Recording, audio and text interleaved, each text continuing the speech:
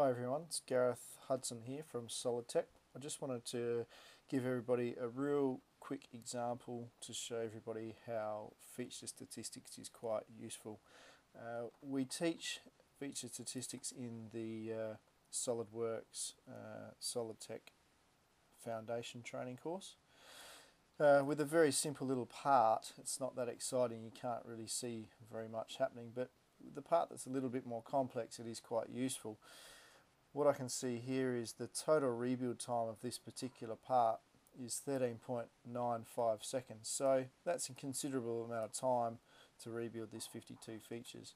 Um, if I just do a control Q rebuild, which is a forced rebuild, uh, I can see that you know, I'm waiting. I can see down the bottom here 57 and 64, sketch 69, and it's done. Alright, so that's reduced the rebuild time to 9.91 seconds. So that's basically what I can consistently expect the rebuild time to be. Um, if you had a part that took 9 seconds to rebuild every time you were to rebuild it, you would find it quite frustrating and quite slow. What this does is this orders uh, the feature that takes the longest amount of rebuild time and puts it up to the top of the tree. It shows you uh, in percentage of time and also the time in seconds. So as I click uh, cut extrude 8 here, it shows me cut extrude 8 on the design tree. Uh, so what I'm going to do is I'm going to go down to cut extrude 8. I'm going to go ahead. First thing I'm going to do is I'm just going to edit the sketch of this as well. Straight away what I notice is even just trying to edit the sketch of that particular feature, it takes quite a long time to edit the sketch what I notice in this sketch straight away is there's a lot of sketch relations. I can turn those sketch relations off. That's going to speed things up a little bit. But the other thing is I notice I've got quite a simple little sketch here. But this sketch has actually been patterned across in lots of different directions. So across uh, to the top and then also across to the left hand side here. Now, it's my preference never to use sketch patterns, certainly in this instance. You'd be better, much better off using a feature pattern rather than a sketch pattern. Okay. Uh, the other thing that I want to do is just come back to this extrude and I'm just going to edit the actual feature itself. Okay, and again you can see quite a considerable uh, delay in just getting in there to try and edit that feature and see what's happening. Uh, it's just a simple little cut extrude feature, so just cutting this shape downwards.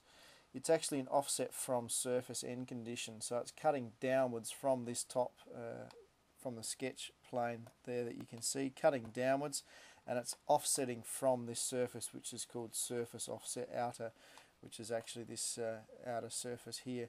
Now this outer surface is actually what I would call a compound curve or, or a complex curve.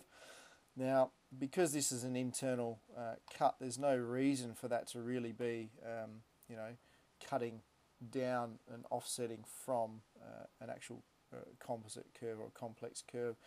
So what I'm going to do, um, I've actually got an example here that I've already fixed, but the point of that whole exercise was that the feature statistics allowed me to find out which feature was contributing, you know, nearly 50% of the rebuild time. So I can potentially uh, interrogate that part and go in and, and try and find how I can reduce that rebuild time.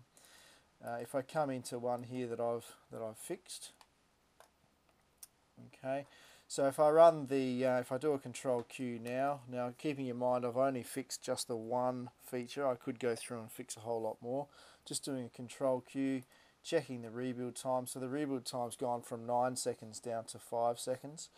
Um, and I've, I've only fixed the first feature here. I could work my way further down this part and obviously go through here and, and fix this uh, particular feature here, which is now contributing 24 uh, or nearly 25% of the rebuild time, which is another couple of, you know, another one and a half seconds almost.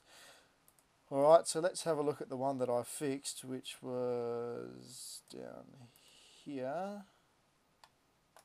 What was it called? Okay, cut extrude 8. So what I can see is if I edit the sketch of the cut extrude 8, what I've done is I've just got the one sketch. You can see straight away as soon as I go to edit that sketch, it opens up and it edits straight away, which is great and it's a lot quicker. Um, so I've just done one sketch and I've deleted all those um, sketch patterns And then the next thing that I've done is um, I've actually inserted a plane here. This plane is actually referencing the standard um, top reference plane and it's passing through that point there which is basically um, you know on that original compound surface that we were using.